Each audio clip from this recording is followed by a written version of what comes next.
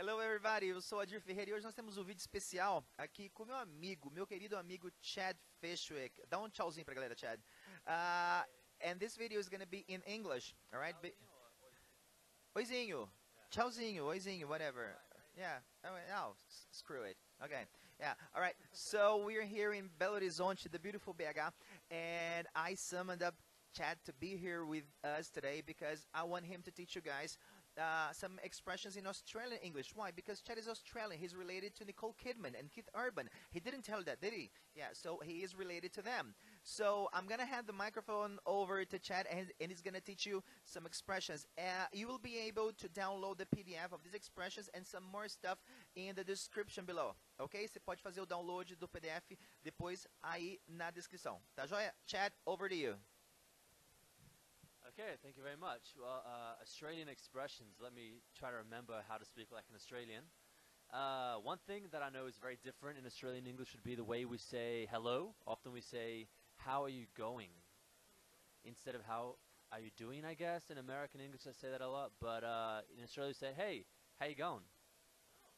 And it's kind of, you know, I guess with Australian English, you have to get used to the, the, the, the tone of it, the intonation. It's very different. We, we speak very a lot of people have this nasal sound as well, and things get cut really, really, really closely. Like, how are you going? Hey, how you going? How you going? You want to give it a go? Uh, hey, how you going? Yeah, that was good. That was good. Thought you were Australian there.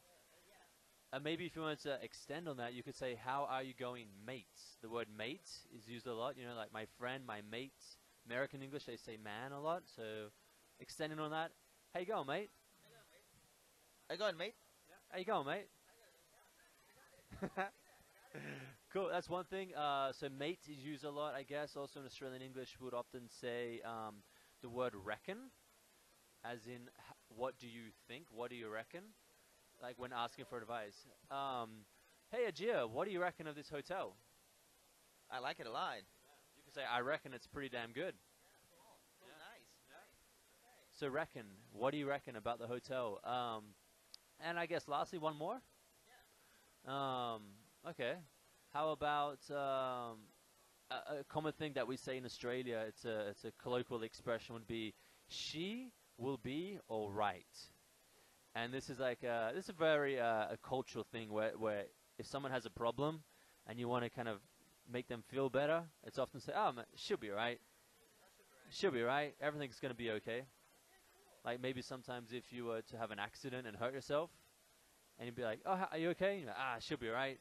It's kind of like a um, everything will be fine. Everything's gonna be okay. She will be all right. Said quite quickly. She'll be right. Ok, cool. Ok. Gente, a gente está no hotel aqui e, e, o povo está chegando. A gente tem que sair daqui agora. Então, eu vou fazer uma série de perguntas que é do programa Inside Actor Studio. Então são perguntas que o Chad vai, vai responder in English, okay? Uh, oh, yes, uh, oh, that's the way to go. Okay, so uh, he'll be asking the questions and answering the, the questions, okay? So I'll be asking and answering? And answering. Okay. I'm, I'm, I'm asking myself the question. Yes. Okay. Um, first question is, what is your favorite word? Uh, my favorite word is mate. Okay, mate. Um, what is your least favorite word? Um, my least favorite word is um, shit. Uh, death, death, or die. When the word die comes up, it's generally bad news. Um, what turns you on? Um, ooh, it turns me on. Um, maybe um, uh, um, nice legs, I guess. I don't know. I'm a legs man. Um, what turns you off? Um, maybe a, a bad breath?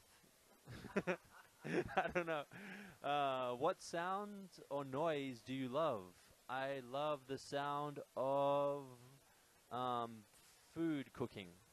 Does that work? Yeah. Yeah. Okay. Um, what sound or noise do you hate? I hate the sound of. Um, oh, I can actually. Oh no, I can't imitate the sound. You know when you have a, a knife like scratching on a plate? That sound is horrible. Um, what is your favorite curse word? My favorite curse word is, I probably just said it, shit. I say that all the time. Does that classify as a curse word? Yeah, it's a bad word, right? Shit. I should probably stop saying that. uh, what profession other than your own would you like to attempt? I would like to. Um, I like cooking. I would like to be a chef. Obviously, I'm not very good, but I like to. I, I like to practice more and become a professional for sure. Uh, if heaven exists, what would be? What would you like to hear God say when you arrive at the pearly gates? That's pretty deep. Um, I don't know if heaven exists. That's a that's already a big assumption. So um, I would like him to say, Chad, help yourself to the minibar. I don't know. Thank you, thank you, Chad, for being with us today. Ah, eu vou estar fazendo mais vídeos, assim, tá com vocês, que eu, eh, né, com o pessoal aqui. E um abraço para vocês. Se vocês gostarem, dá um joinha que ajuda na nossa, nossa divulgação.